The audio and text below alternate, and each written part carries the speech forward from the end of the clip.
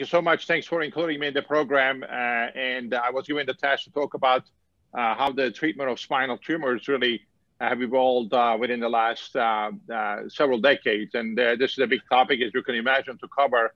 Um, so a lot of things happen in cancer care. I think it's important to put that into a framework when we are looking at how the treatment has evolved over many decades. And just to give you one example, I cannot cover many of them at the moment, given the time restriction here. But this is a patient with metastatic melanoma. Uh, you can see how uh, uh, the patient who um, uh, uh, has white strip uh, spread metastases on the left side was found to have a specific mutation in the BRAF gene. And if you were to use a drug that's targeting that gene, you can see how the patient's diffuse metastases can be treated very effectively. Now, many of these patients are living for for a number of years after diagnosis with spinal metastases, and uh, many of these patients used to die very quickly uh, after initial diagnosis. Just showing you uh, molecular profiling of these tumors, some of the under understandings of the genomics really uh, ha uh, have changed the way that we approach these tumors. It's important to see uh, how the treatment really has evolved over the last 30 years. this is looking at the outcome in patients with metastatic spinal tumors with epidural spinal cord compression and the use of uh, conventional radiation therapy in treating these tumors. And you can see here, uh, perhaps only a quarter of patients uh, with uh, uh, tumors uh, that are treated with um, conventional radiation therapy were found to have improved neurologically when you use conventional radiation therapy as the primary mode of treatment. later, the, the, surgeons thought that perhaps they were to use a laminectomy operation to improve the outcomes in these patients they could make a difference. But you can see the results again uh, from a large, uh, uh, you know, series of cases and the papers from the literature. the results were essentially identical. and so the laminectomy really did not add anything to the treatment of patients with metastatic epidural spinal cord compression over uh, conventional radiation therapy alone. There was only one small prospective randomized trial which demonstrated absolutely no difference. So many of the medical oncologists and radiation oncologists became con convinced that there was really no role for surgery. Uh, but in this case, the surgery being a laminectomy operation, as you can imagine, the laminectomy is not the best way to decompress the spinal cord when you have metastatic disease that is most of the time located in the vertebral body compressing the cord. I would say that the surgeons later wised up and realized that perhaps uh, if the laminectomy is not the best way to decompress the spinal cord, uh, furthermore, we are destabilizing the spine, doing something from posterior but more extensive achieving a better decompression, uh, but at the same time also stabilizing the spine can potentially make a difference. And you can see these papers uh, uh, showing that indeed the neurological outcome was now significantly better. better. Over 60% of the patients uh, were found to have improved after the surgical intervention. Not only that, but also we have seen that uh, the pain that these patients reported also have gotten better after, after this kind of approach, including stabilization. And then finally, I would say that the, uh, the uh, surgeons have gotten more comfortable with the anterior portion of the spinal column in patients with metastatic disease. And you can see our, our series and many others from the literature uh, really have demonstrated that uh, these patients uh, can do uh, quite well. neurological improvement was even better with anterior approaches than the compression stabilization. And in addition to that, the pain again was improved in vast majority of the patients.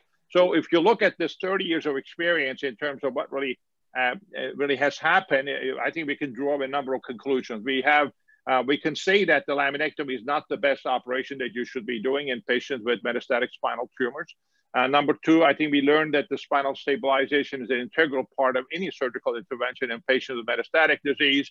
Um, and uh, and uh, many of the, in many of the cases, the underlying pain in patients with metastatic disease is really due to spinal instability, hence is best addressed with spinal stabilization. And the third, I would say that the better the decompression of the spinal cord, the more direct the approach to it is, uh, the better the neurological outcome is.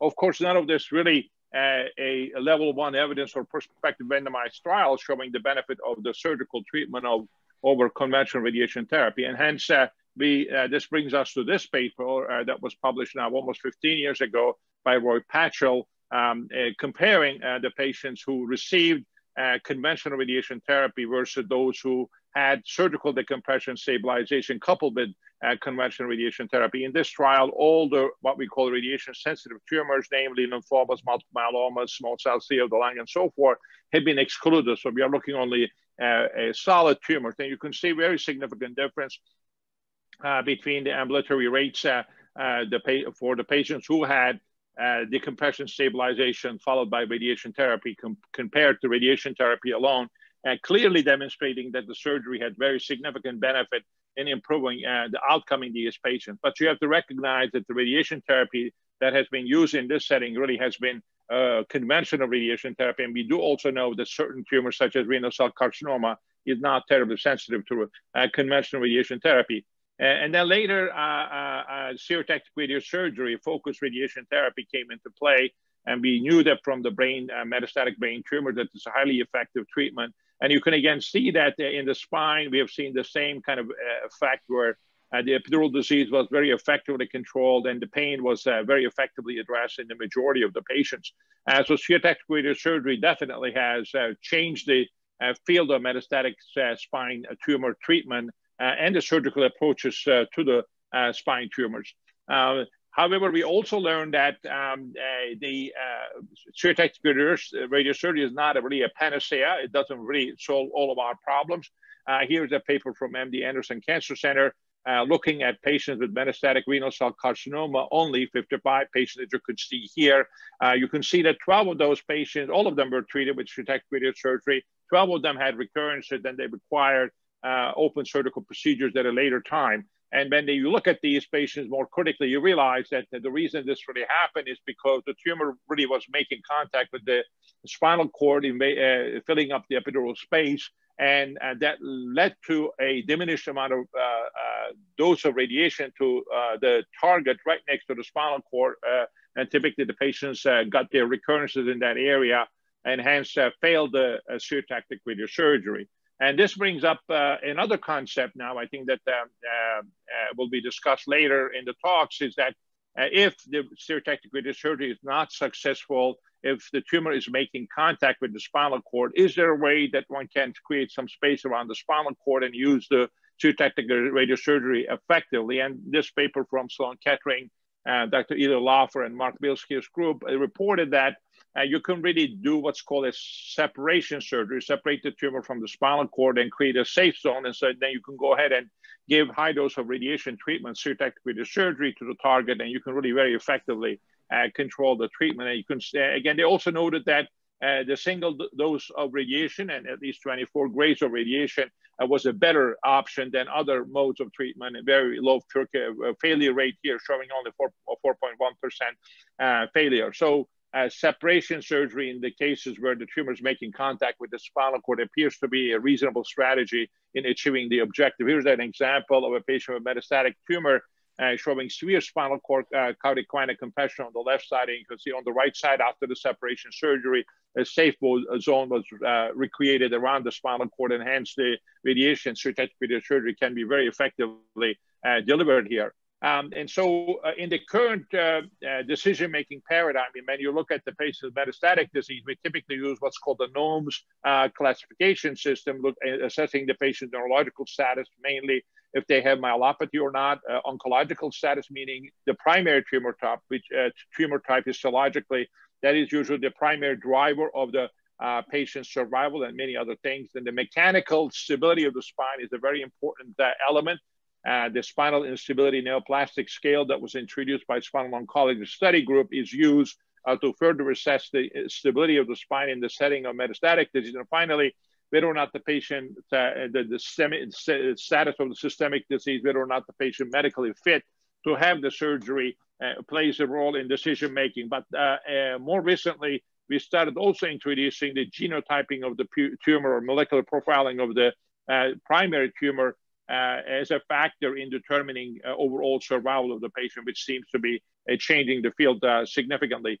Um, let me move on to the uh, just a few words about the uh, primary spine tumor. This is a, a, sort of a whole list of uh, primary spinal column tumors that we see, and not a complete list by any means, but I'm going to draw your attention these tumors that are highlighted here with uh, capital letters, namely the chordomas and chondrosarcomas, because of the uh, time restriction. You know, I'll, I'll, take chordoma as an example to show how we should really be approaching these tumors. Uh, these two tumors are really regarded uh, as primarily surgical entities, meaning that uh, the best treatment for these uh, two tumor types, particularly low-grade versions of those, are really uh, a complete resection of the tumor with negative margins. Um, this has been debated for a long time.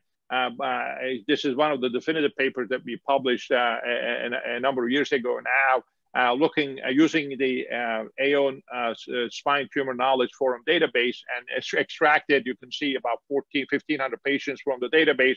And we identified over 350 patients with uh, chordomas and specifically looked at whether or not resecting the tumor in an en bloc fashion can make a difference in the overall survival of these patients, as well as time to full, first recurrence. And you can see the distinct separation of the survival curves between those patients who so-called Enneking appropriate procedure, which means that the tumor has been resected completely with negative margins.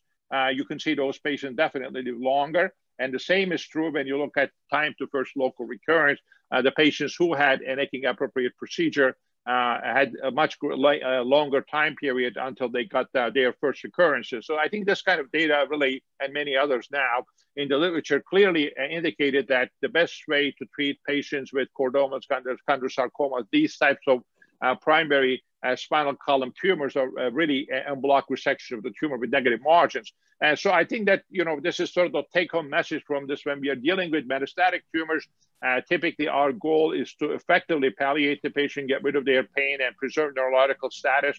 And the surgical technique that we employ in this setting is really intralesional resection of the tumor and stabilization. Whereas if we are dealing with primary tumors such as chordoma or chondrosarcoma, our goal really uh, is really to try to cure the patient if possible. And uh, the te surgical technique typically we use here uh, would be an en bloc resection of the tumor. And I'll highlight this with two case examples. Um, I know I'm running out of time here.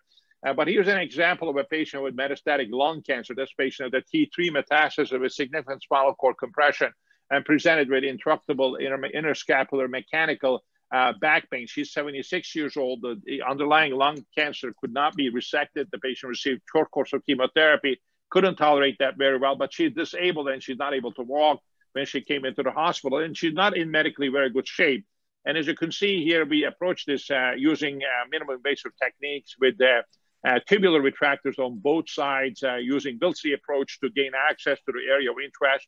And the spinal cord can uh, be effectively decompressed here, as you can see. You can see the tied nerve roots there, and you can see the anterior column reconstruction here after the tumor resection with a cave that was filled with uh, bone graft. And then subsequently, the patient uh, received percutaneous screw uh, placement, as you can see here, for additional stabilization posteriorly. And this is the patient's back showing the stab wounds related to um, pedicle screws, as well as uh, linear incisions on either side related to the Wiltse approach and uh, decompression of the spinal cord. In this uh, medically fragile patient, all the objectives really have, have been achieved here. This, uh, the patient's stability issue had been addressed with cage reconstruction, and screw stabilization. We avoided wound complications without, uh, uh, since we did not do any wide muscle di dissection. The patient was discharged from the hospital three days later, really walking with a cane as well as um, complete relief of her pain. And so uh, this kind of strategy really has really worked very nicely in this patient. Here's another example where this is a patient with a primary spinal column tumor where we couldn't see that there's a large chordoma involving uh, primarily the L4 vertebra, but that's definitely extending to the levels above envelope. As I indicated, our goal here is really to this, uh, resect this tumor in a complete manner. And for this, the, the two-stage operation, first from posteriorly with wide dissection, long stabilization uh, to stabilize the lumbosacral junction. Uh, we have a number of other things that we put in here. You can see that we, uh, we place uh, Tomita saws here to be able to cut the spine from anteriorly when we come from there. And then we have other wires that are encircling the construct posteriorly to stabilize the cage after the cage is placed from an anterior approach at a later time. And you can see the patient's back uh, during the first stage of the operation. The patient's head is on the left side and the feet are on the right side. Wide dissection of the cauda equina here. All the nerves have been followed into the retroperitoneal space. Long instrumentation that goes all the way down to the pelvis. And then, and then the second stage of the operation is done through a midline laparotomy approach. And you can see um, the space that we created between the great vessels. And then now we retrieve the Tomita saws that we have placed from posteriorly to be able to transect the spinal column um, very precisely. And you can see uh, hypothetically, that's what's going to happen when we cut the spine out. We should be able to really remove the tumor in an en bloc fashion, and the anterior column can then be reconstructed uh, with a distractible cage that fits perfectly into that shape um, and then secured in place with some wires that are encircled uh, through the construct in the back. And here's the patient specimen that has been removed in one uh, piece containing three vertebral bodies. And you can see the anterior look into this area for the reconstruction of this region uh, with a cage that had been uh, placed in the defect there uh, on the bottom on the right side. You see the end plate of S1. Um, and and um, and then subsequently how the X-ray looks in terms of reconstruction this area uh, and how the construct is really put together. You can see we have four rods in the back since uh, this area may not fuse and we should really be prepared to make sure that we we have adequate uh, stabilization of this area to avoid any type of construct uh, failure. And here's the Sorry, and uh, how it compares to the MRI. Uh, the last slide. We have here, to wrap up soon. Yeah. yeah, this is the last slide here. As you can see, um, you know, it's important to understand the biology of these tumors uh, in terms of defining the goal of the treatment. I hope I, am, I was able to make the uh, point that en bloc resection of primary tumors uh, uh, leads to improved survival. Um, and then finally, recent approach, uh, advances in surgical approaches, techniques, as well as instrumentation now allow us to remove these tumors more completely with negative margins. Uh, and with that, thank you so much uh, for giving me the opportunity to share my thoughts.